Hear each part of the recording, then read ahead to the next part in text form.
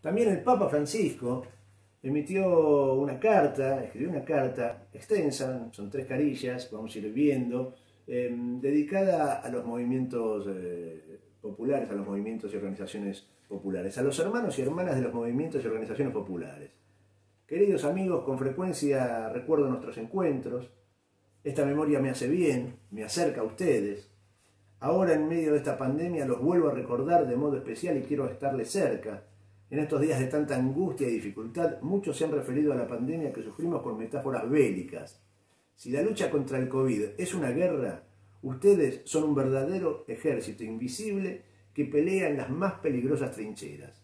Un ejército sin más arma que la solidaridad la esperanza y el sentido de la comunidad que reverdece en estos días en los que nadie se salva solo.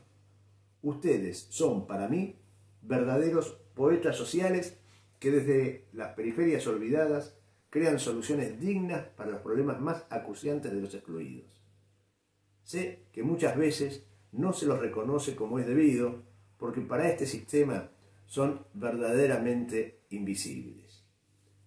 Se los mira con desconfianza, por reclamar por sus derechos, en vez de quedarse resignados esperando a ver si cae alguna migaja de los que detentan el poder económico. Mastican bronca e impotencia al ver las desigualdades que persisten incluso en momentos donde se acaban todas las excusas para sostener esos privilegios. Sin embargo, no se encierran en la queja, se arremangan y siguen trabajando por sus familias, por sus barrios, por el bien común. Pienso en las personas, sobre todo mujeres, que multiplican el pan en los comedores comunitarios cocinando con dos cebollas y un paquete de arroz un delicioso guiso para cientos de niños. Nunca aparecen en los grandes medios.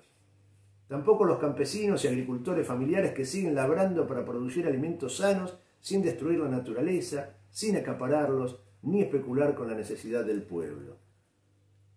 Ustedes están ahí poniendo el cuerpo junto a ellos para hacer las cosas menos difíciles, menos dolorosas.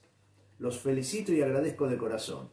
Espero que los gobiernos comprendan que los paradigmas tecnocráticos, sean estadocéntricos, sean mercadocéntricos, no son suficientes para abordar esta crisis ni los otros grandes problemas de la humanidad. Son las personas, las comunidades, los pueblos quienes deben estar en el centro, unidos para curar, cuidar, compartir. Sé que ustedes han sido excluidos de los beneficios de la globalización. No gozan de esos placeres superficiales que anestesian tantas conciencias. A pesar de ello, siempre tienen que sufrir sus prejuicios. Ustedes, trabajadores informales, independientes de la economía popular, no tienen un salario estable para resistir este momento y la cuarentena se hace insoportable.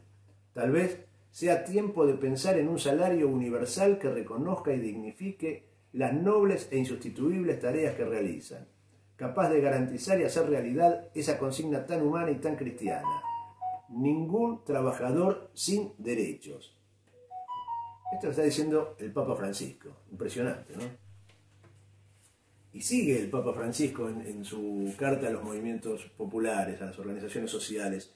Ustedes no son unos improvisados tienen la sabiduría que se amasa con la levadura de sentir el dolor del otro como propio.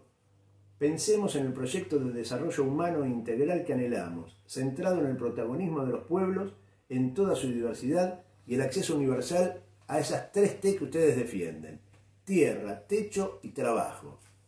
Espero que este momento de peligro nos saque del piloto automático, sacuda nuestras conciencias dormidas y permite una conversión humanista y ecológica que termine con la idolatría del dinero y ponga la dignidad y la vida en el centro.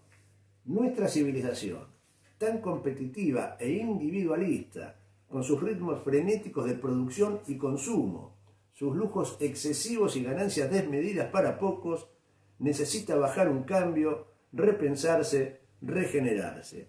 Sigan con su lucha y cuídense como hermanos se despide el Papa Francisco. Contundente una vez más el Papa pegándole en el corazón de lo que es el capitalismo.